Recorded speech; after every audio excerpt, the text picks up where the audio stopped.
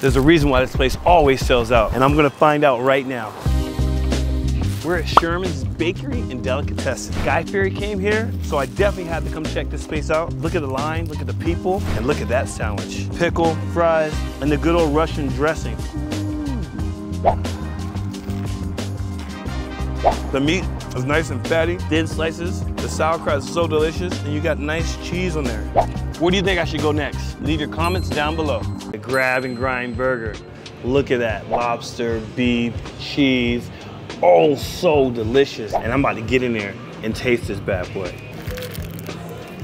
Mmm. Look at the juice drip, drip. Just keep dripping. Got frisée greens on this. You can't have a lobster burger without frisée. This burger is a 10 out of a 10. It's unique, it's different, it's cheesy, it's got that seafood flair in that beef. Let me know what I should try next in the comments.